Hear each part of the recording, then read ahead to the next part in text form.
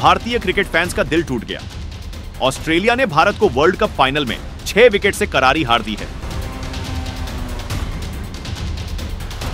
बात करें kangaroo team की तो कंगारू टीम ने छठी बार वनडे वर्ल्ड कप जीता है। भारत एक बार फिर कंगारुओं के सामने टिक नहीं पाई। भारतीय फैंस को काफ़ी उम्मीद थी, लेकिन वह उम्मीद सब टूट गई। मैं इस वक्त डीडीए पार्क में मौजूद हूँ और जैसा कि आप सब जानते हैं कि इंडिया की बहुत ही बुरी हार हुई है तो आज मेरे साथ यहाँ पर कुछ युवा मौजूद हैं। मैं उनसे जानता हूँ भाई आज कितना बुरा लग रहा है आपको आज? क्या उम्मीद थी और जो आज आपकी उम्मीद टूटी है? आ, सबसे बढ़िया तो मेरे को लगा कि ऑस्ट्रेलिया टीम में ने बहुत अच्छा क्रिकेट खेला मेरे हिसाब से। इंडियन टीम बहुत अच्छा क्रिकेट खेल सकती थी। उस हिसाब से विराट कोहली ने बैटिंग अच्छी करी। रोहित शर्मा जो कि एक अच्छा स्टार्ट देता है ऑलवेज वो उसने बहुत अच्छा स्टार्ट दिया। के राहुल का थोड़ा सा मेरे को लगा कि उसने बहुत ही ज़्यादा स्लो बैट किया पर फिर भी के राहुल ने एक अच्छा सिक्सटी सिक्स का स्कोर किया। ठीक है कोई नहीं चलता रहता है गेम है इतना तो वो बनता है। भाई किस तरीके से आज जो मैच हुआ है क्या लग रहा है आपको? मतलब दिल कितना टूटा है? बहुत तगड़ा दिल टूटा है बहुत बुरा। अच्छा नहीं लगा जो उम्मीद थी उस उम्मीद से क्या?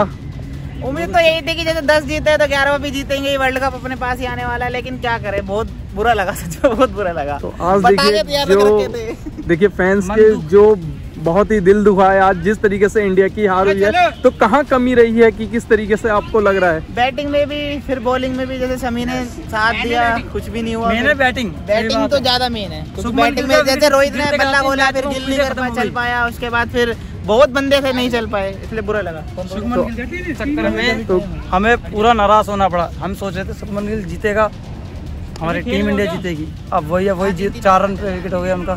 तो आज देखिए कि यहाँ पर कुछ लोग युवा भी मैच खेल रहे हैं और ये पटाखे भी लेकर आए थे कि यहाँ पर हम लोग मैच खेलते खेलते टीम इंडिया को बधाई देंगे। लेकिन जिस तरीके से यहाँ पर टीम इंडिया की हार हुई है, वो बहुत ही आज की शर्मनाक हार मानी जा रही है और यहाँ पर कुछ युवा हैं। आप देख सकते हैं, वो मैच भी खेल रहे हैं। तो आज जो जोश था युवाओं में मैच खेलते हुए कि टीम इंडिया को हम बधाई देंगे, लेकिन वो टीम इंडिया आज अपने फैंस को बहुत ही ज़्यादा नाराज़ कर गई है।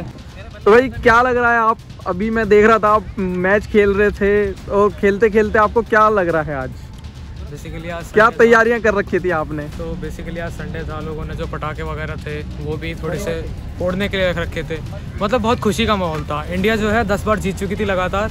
तो सबको ये था कि आज भी जीतने ही वाले हैं। आप देखना चाहें तो ओडीआई के नंबर वन बैट्समैन हमारे नंबर वन रैंकिंग आईसीसी के हमारे ही हैं बॉलर भी हमारे ही हैं। लेकिन ऐसा क्या हुआ जो भारतीय टीम ने हमें डिसअपॉइंट कर दिया?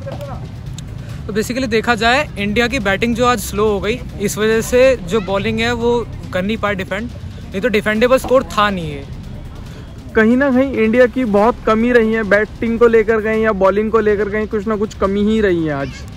तो नहीं हंड्रेड परसेंट तो आप वो आज नहीं दे पाए अपना लेकिन फिफ्टी नाइन परसेंट बोले कुछ भी बोले थोड़ा प्रेशर होता है। आप देखिए वहाँ पे डेसिबल जो साउंड की यूनिट होती है आप देखिए 120 से ऊपर जा रही थी वो। शोर था पब्लिक के अंदर। जब आपके ऊपर एक कंधों पे बोझ होता है ना कि पीछे से शोर आ रहा है, बहुत शोर आ रहा है तो आप उस टाइम पे नर्वस हो जाते हो कि क्या इन सब लोगों की रिस्पॉन्सिबिलिटी आप ही के कंधों पे है। और जब आप प्रेशर लेके खेलते हो ना तो इंडिया में प्रेशर कुकर्स कम है। जैसे ऑस्ट्रेलिया में कंगारू हम जानते हैं, उन पीले पीले जो लगा कर घूमते हैं, वो थोड़े ज़्यादा प्रेशर में खेलना जानते हैं। वो पाँच पाँच बार जीत भी चुके हैं वर्ल्ड कप इंडिया दो ही बार जीती है। वो रीज़न यही है। इंडिया में बाकी बहुत डिसअपॉइंट आज हो गया। संडे था। बहुत ज़्यादा लोगों ने आस लगा रखी थी।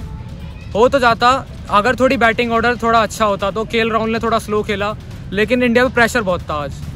तो चलिए, कोई बात नहीं, आज फैंस काफ़ी थोड़े से नाराज़ दिखे और जो उम्मीदें थी, वो उम्मीदें भी टूटी हैं आज।